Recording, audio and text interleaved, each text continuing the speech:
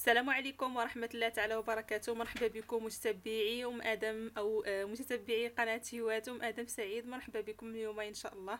غادي نقدم لكم طريقة عمل لكاب كيك يعني بعد طلب آه، والأخت عائشة آه، متتبعة ديالي من يعني في الصفحة على الفيسبوك أو لا اليوتيوب. أه نتمنى أن هذه الوصفة تنال الإعجاب ديالها إن شاء الله وكان نقول لها عيد ميلاد سعيد للولد ديالها. أه عقبال 100 عام يا ربي آمين. ونمروا أه كما العاده نتعرفوا على المقادير ديال هذا الكاب كيك بجوز الهند أو لا بنكهة الكوك.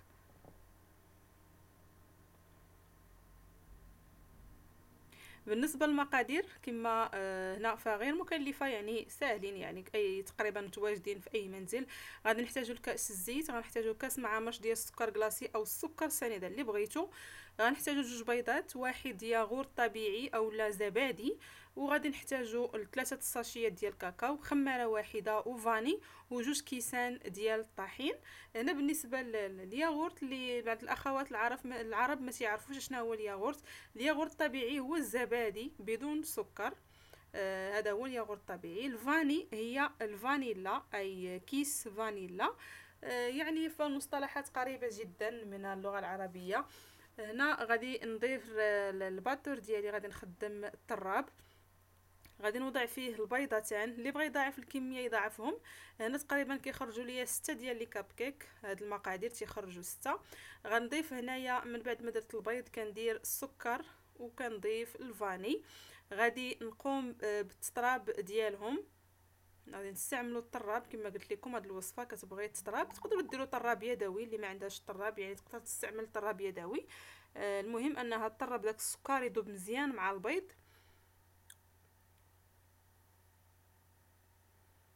هنا كما كتشوفوا من بعد ما آه يعني تخلطوا ليا المكونات. أهم حاجة أن السكر يذوب مزيان ما يبقاش يعني محجر. من بعد غادي نضيف كأس ديال الزيت. الزيت يمكن لكم تعوضوه بالحليب. يعني الزيت يمكن لكم تعوضوه أيضا بالحليب. آه غادي يجي فيها أيضا جميل. هنا غادي نضيف آه، كأس ديال ياغورت طبيعي أو الزبادي بدون سكر.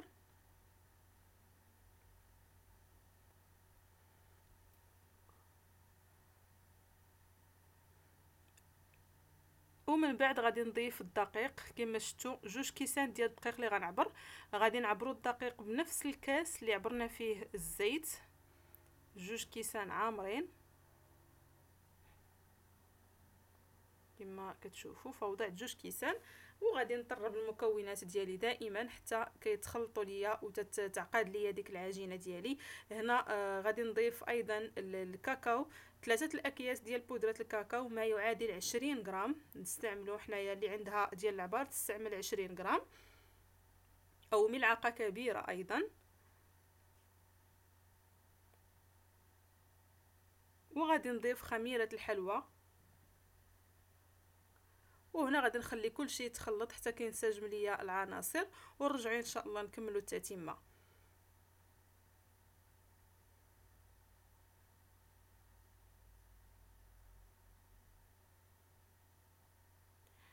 إذا هنايا فالعجينة ديالي يعني كملات يعني تخلطات ليا مزيان وعقدات ليا كما غادي تشوفوا فخاصها تجيكم بحال هذا الشكل هذا تجيكم عاقدة ما تكونش يعني جارية بزاف. غادي نحتفظوا بها وندوزو باش نصايبوا الحشوة اللي هي عبارة على الكوك اولا جوز الهند. غادي نديرو معاه آه، الحليب المركز المحلى أو العسل يعني أنا اللي ما عندوش الحليب المركز المحلى يستعمل العسل اللي ما عندوش العسل وعنده الحليب المركز المحلى يستعملو. أنا كنستعمل غالبا العسل لكن ما بقاش عندي هنايا لهذا عوضته بالحليب. آه يعني آه العسل يعني أحسن شيء أنكم ديروا العسل ملعقة كبيرة ديال العسل.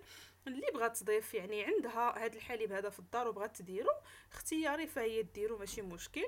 غادي نستعمل الكمية الكافية باش غيتجمع ليا هذا الكوك هذا. اذا هنايا ضفت شوية. غادي نجمعو مزيان حتى كيتجمع ليا باش غادي نشكل منه كويرات. هنا كما كتشوفوا من بعد ما تجمع أنا كنبغيه يعني نخليه شوية ناشف. اللي بغاتو يجي معجن تزيد مازال تزيد ليه العسل اولا الحليب. أنا يعني كما قلت لكم كنبغي نخليه ناشف. غادي نعمل كويرات بهذا الشكل هذا. يعني أنا بغيت لي كاب كيك ملي يطيبوا لي يجي فيهم داك الكوك يجي فيهم يعني آه بودره يجي فيهم ناشف ويعني مفرتت ما ما يكونش ليا معجن. اللي بغاتو يجي معجن كما قلت لكم تضيف كمية من العسل ولا تضيف الكمية ديال الحليب على حسب هي شنو استعملات. كنعملوا كويرات بهذا الشكل هذا كما كتشوفوا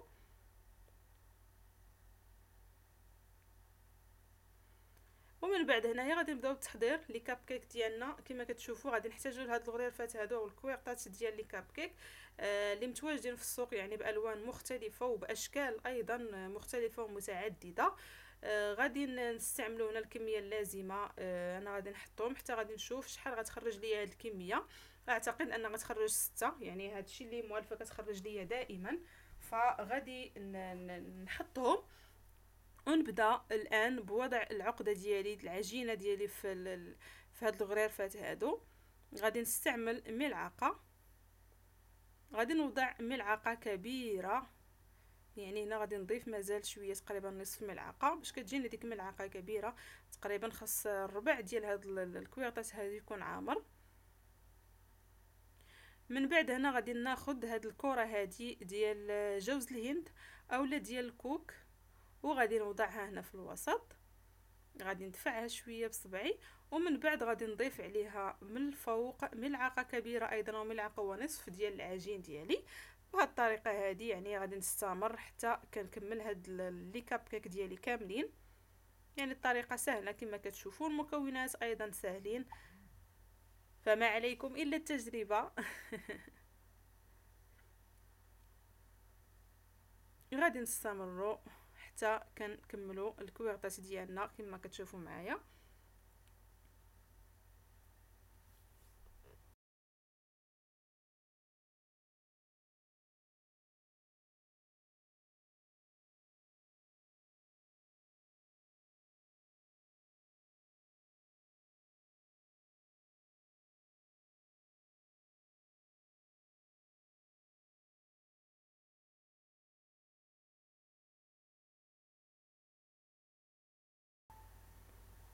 وهنايا كما كتشوفوا من بعد ما ساليت غادي ندخلهم يطيبوا فرن ساخن درجة الحرارة ديالو 180 إن شاء الله لمدة 20 دقيقة وتنخرجوهم باش نشوفوا الشكل النهائي ديالهم.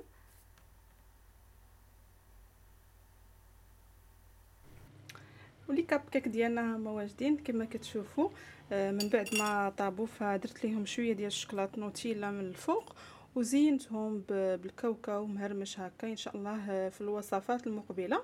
غادي نحط لكم يعني لي كاب كيك بالتزيين ديالهم. تزيين العيد ميلاد والمناسبات أيضا علاش لا؟ آه، هنا كما كتشوفوا غادي نحاول نوريكم وحدة.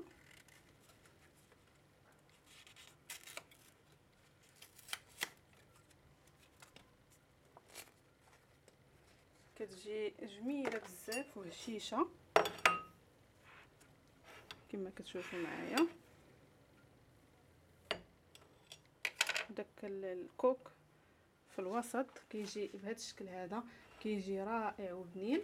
أه نتمنى أن الوصفة ديال اليوم تنال الإعجاب ديالكم كما العادة وما تنساوش ديروا جيم الفيديو وما تنساوش أيضا تبارطاجيو الفيديو باش القناة توصل لأكبر عدد من المشاهدين المتتبعين الأوفياء بحالكم. وما بقى لي الا نقول لكم السلام عليكم إلى وصفة مقبلة إن شاء الله. بسلام عليكم.